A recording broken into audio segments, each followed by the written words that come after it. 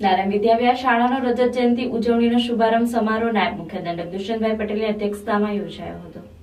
નારાયણ વિદ્યાવિહાર શાળા પચીસમાં વર્ષમાં મંગલ પ્રવેશે શિક્ષણ અને કેળવણી સાથે સંસ્કાર અને સંસ્કૃતિની પરંપરાનું સામાજિક અનુષ્ઠાન યજ્ઞરૂપ પ્રોજેક્ટ દધીજીનું ઉપસ્થિત મહાનુભાવોના હસ્તે લોન્ચિંગ કરવામાં આવ્યું હતું.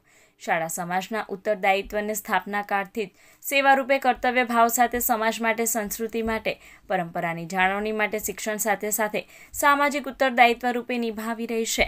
જેના થકી સમાજ, રાજ્ય અને રાષ્ટ્ર ઘડતર માટે સંસ્કૃતિ સંવર્ધનની પ્રવૃત્તિઓ શિક્ષણ સાથે સાંકળીને રાષ્ટ્રીય ચેતના, વસુદેવ કુટુંબકમ સાથે સ્વરત સમાજ, સ્વરત સ્વચ્છ અને ઉન્નત ભારતનું નિર્માણ માટે પ્રયત્ન કરી રહી છે.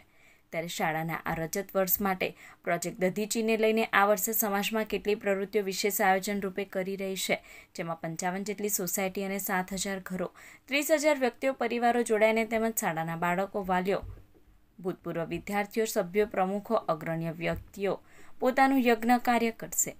જે માટે સોસાયટીના પ્રમુખ અને પ્રતિનિધિઓ ઉપસ્થિત રહ્યા હતા.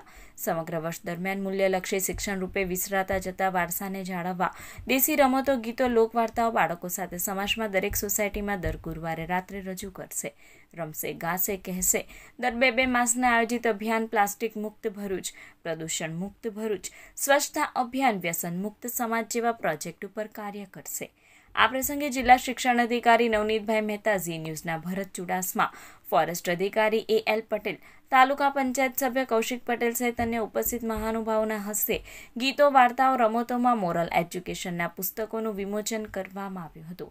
ઉપસ્થિત મહાનુભાવે શાળા પરિવારની પ્રવૃત્તિની સરાહના કરી દધીચી પ્રોજેક્ટને બિરદાવી તે અન્ય માટે પણ અનુકરણીય હોવાનું કહ્યું હતું.